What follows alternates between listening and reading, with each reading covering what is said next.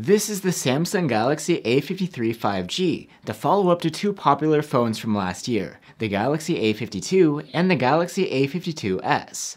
Those phones were considered great value for money, so what's changed this time around, and is this one worth upgrading to? I'm Will for GSM Arena, and let's find out in our Galaxy A53 5G review.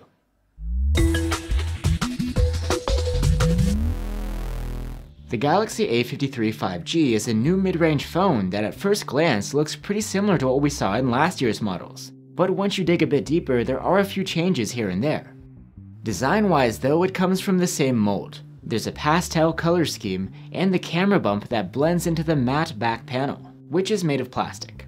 The A53's glossy frame is also made of plastic, but the phone doesn't feel cheap. It seems sturdy and smooth. And as we've seen in previous A-series devices, the A53 has IP67 rated protection against water and dust. But one of the upgrades, at least on paper, is that the A53 brings a larger 5000 mAh battery capacity. Bigger doesn't always mean better though, and jumping into the numbers, the A53 was able to score 113 hour endurance rating in our battery life tests. That's quite solid, but the same as last year's model. Charging speed hasn't changed much. In fact, it's a little slower, going from 0 to 45% in half an hour. And in most markets, the A53 5G doesn't come with a charger in the box. Another difference you'll find on the A53 5G is a new chipset. It's an Exynos 1280, which is an upgrade over the Snapdragon 750G inside of the Galaxy A52 5G. It provides 5G connectivity and solid mid-range level performance. The UI runs smoothly and the gaming experience is decent. The thermals are okay here too. The thing is though, if you compare the benchmark scores to the Galaxy A52s's Snapdragon 778G, the A53 5G is a clear downgrade, both CPU and GPU wise. So if you're after the most power under the hood, the model from last year has this one beat, and it's actually the cheaper phone too at the time of this review. The A53's display is very similar to last year, it's a 6.5 inch AMOLED with a 1080p resolution, Gorilla Glass 5 protection, and a fast 120Hz refresh rate. The high refresh rate smooths out your swiping and scrolling, but it won't dial down to save energy when you're not interacting with the screen. There is one change on the screen compared to the A52s. While that model had HDR10 Plus support, you won't find that on the A53 for some reason. But besides that, this panel is quite nice quality-wise, with deep OLED blacks, and color accuracy is great.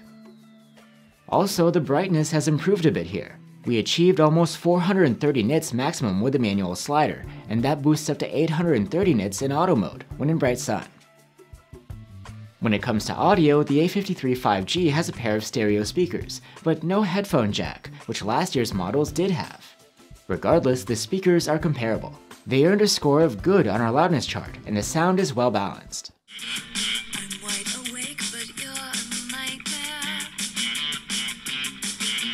The final notable change you'll find here is the camera quality. The cameras are actually the same as before, but because of the different chipset, the processing has changed a bit.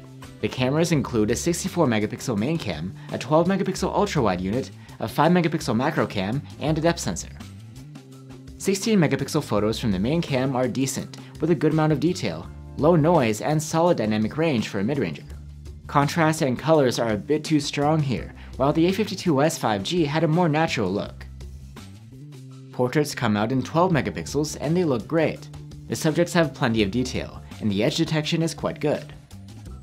Shots from the ultra-wide camera are alright, but nothing special. They are rather soft, but at least the colors look much more natural than the main cams. On the other hand, that means that consistency across the two cameras is not great. The 5 megapixel macro camera can produce nice close-up shots that are colorful and have plenty of detail. Since focus is fixed, it takes some trial and error to get a sharp photo. In low light, the main camera is competent, producing shots with plenty of detail, relatively low noise, and sharpening that isn't too aggressive. Light sources are handled well, and so are shadows, perhaps thanks in part to automatic night mode processing that kicks in based on the lighting conditions. There's also a dedicated night mode that you can toggle, which applies more extra strength processing. Its benefits are subtle, and the resulting photos are a lot softer, so we'd recommend against using it. Low-light shots from the ultra-wide camera are quite messy. They're soft and dark with narrow dynamic range. The dedicated night mode doesn't seem to help much either. The small improvements in the tonal extremes come at the expense of considerable softness of the images. For selfies, the A53 5G has a 32 megapixel front-facing cam that outputs photos in 12 megapixels. Overall, the quality is solid, with plenty of detail, and decently low noise. The A53 can shoot video with all of its cameras in up to 4K resolution at 30 FPS. 4K footage from the main camera has plenty of detail, low noise, and reasonably wide dynamic range. Like the still photos, the colors come out quite saturated here. The ultra-wide camera's videos are decent in quality. There is more noise and softness than the main cam, which is expected. Also, the color rendition here is noticeably different. There is electronic stabilization available for video, but only in 1080p resolution. It does a decent job at smoothing things out and handles pans well.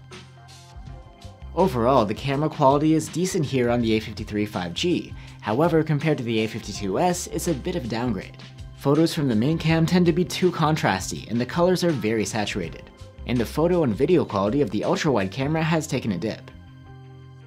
Moving on, the Galaxy A53 has expandable storage on top of the 128 or 256 gigs built in, and all that's left to really talk about are the software features, which are largely shared between Samsung devices.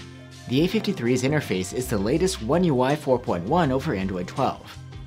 It's quite familiar with unique features like the Edge panel for shortcuts, and proprietary apps such as Samsung's web browser.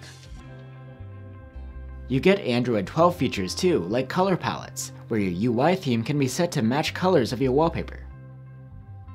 And there's the privacy dashboard, which organizes all of your permissions options into one convenient place. You are missing some features like smart widgets and DeX for connectivity, which you would get on the flagships. But you still get one of the most important benefits, Samsung software support for 4 generations of One UI and Android OS upgrades, and 5 years of security updates. So that's the Samsung Galaxy A53 5G. It's overall a pretty solid mid-ranger, providing most of the features we loved in last year's models. The problem is, it doesn't have all of them. There are even a handful of downgrades compared to the A52s. And at the same time, this model is more expensive. So in the end, if you can find the A53 5G at a discount, it's a decent Samsung mid-ranger with good software support. But if you have the choice, we'd recommend getting last year's model instead. Thanks for watching guys, stay safe and see you on the next one.